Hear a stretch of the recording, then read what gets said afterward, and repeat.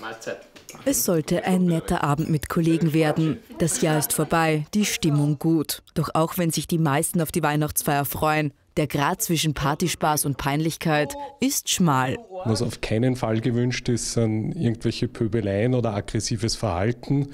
Oder was dann gleich auf dem zweiten Platz folgt, ist übermäßiger Alkoholkonsum wo man ja sagen muss, das eine hat ja mit dem anderen oft sehr viel zu tun. Sprich, wenn ich ein Glas über den Durst trinke oder mehrere, dann kenne ich mich vielleicht nicht mehr ganz so aus und sage dann Sachen, die ich vielleicht später bereuen würde. Ja.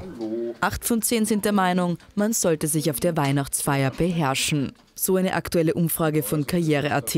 Als größtes No-Go gilt Punchel mit Kollegen wenn sie Kollegen äh, näher kommen, als sie sich vielleicht kommen sollten, weil das kann für Irritationen in der Folge am Arbeitsplatz sorgen. Und was auch nicht so gern gesehen wird, sind ja, Feiern ohne Limits, sprich man gibt sich halt dort irgendwie, äh, das Ganze eskaliert und man gibt sich so, wie man sich sonst vielleicht nicht gibt in der Arbeit. Du immer und ich dann immer der Trottel bin. Ein Glas zu viel getrunken und vor Kollegen und Chef ins Fettnäpfchen getreten. Dann plagt neben Kopfschmerzen am nächsten Tag auch ein schlechtes Gewissen.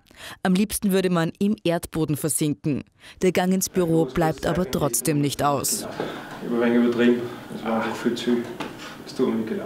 Ja, das ist kein Thema. Am besten ist wahrscheinlich, man legt ein menschliches Verhalten an den Tag. Man sagt, es ist menschlich, wenn Fehler passieren und es ist genauso menschlich, wenn ich mir am nächsten Tag in aller Form dafür entschuldige.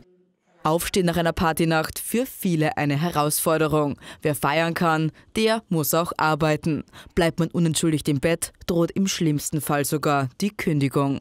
Das ist vielleicht besser, man nimmt sich prophylaktisch schon im Vorhinein einen Urlaubstag oder einen Tag Zeitausgleich. Aber nicht jeder freut sich auf die Weihnachtsfeier. Ob man hingehen muss oder nicht, hängt von Zeitpunkt und Ort ab. Wenn sie in der Arbeitszeit stattfindet, dann besteht auch eine Anwesenheitspflicht, dann ist es auch Arbeitszeit, dann wird es natürlich, ich, entsprechend bei den Stunden vermerkt.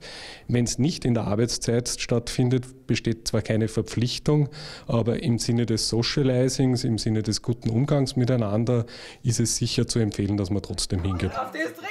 Jeder Zehnte ist der Meinung, eine Weihnachtsfeier kennt keine Grenzen. Wer allerdings doch seine Grenzen kennt, der kann peinliche Vorfälle vermeiden.